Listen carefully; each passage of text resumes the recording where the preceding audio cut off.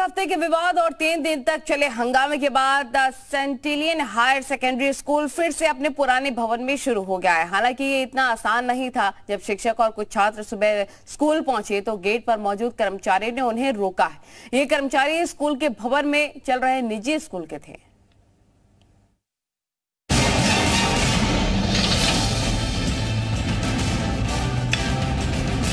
उत्तर प्रदेश के मुख्यमंत्री योगी आदित्यनाथ लगातार अवैध कब्जेदारों, माफियाओं के खिलाफ कार्रवाई कर रहे हैं। इसके बावजूद, लखनऊ में ही अभी भी कुछ लोग संपत्ति को कब्जा करने से बाज नहीं आ रहे हैं। आरोप है कि लखनऊ में कैसरबाग स्थित करीब 135 साल पुराने सेंटीनियल इंटर कॉलेज पर माफिया ने कब्जा करके वहाँ पर मेथोडिस्ट चर्च स्कूल बना दिया। वहीं गुरुवार को सेंटिनियल स्कूल से जुड़े सभी सरकारी शिक्षकों और छात्रों को बाहर निकाल दिया। इससे नाराज़ होकर शिक्षकों ने कॉलेज के बाहर ही बच्चों को पढ़ाना शुरू कर दिया। आज हंगामे और जद्दोजहद के बाद आखिरकार स्टूडेंट्स और टीचर्स को प्रवेश मिल गया। डीएम के आदेश के बावजूद सेंटिनियल इंटर कॉलेज पर कब्जा करने वाले निजी स्कूल के लोग, शिक्षकों और स्टूडेंट्स को प्रवेश देने के लिए तैयार नहीं थे। अफसरों की मौजूदगी में कड़ी मशक्कत के बाद ही बच्चों को एंट्री दिलाई गई। मौके पर मोर्चा संभालने के लिए बेसिक शिक्षा अधिकारी, जिला विद्यालय निरीक्षक से लेकर जिला अधिकारी तक पहुँचे। जो सेंटिनियल हायर सेकेंडरी स्कूल है, उसको फ़िज़िकल पोजेशन उनकी अपनी बिल्डिंग पर आ, किया गया है।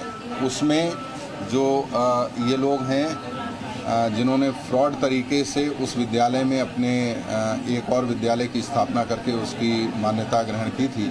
उसकी मान्यता के निरस्तीकरण की कार्यवाही जो विधिक प्रक्रिया है उसका पालन करते हुए की जा रही है। कल नोटिस दिए गए हैं सात दिन का समय दिया गया है। सेंटिनियल इंटर कॉलेज को लेकर बीते करीब आठ नौ महीने से विवाद चल रहा था। गुरुवार को क्लास सड़क पर लगी, तब प्रशासन जागा और अधिकारियों की नींद टूटी।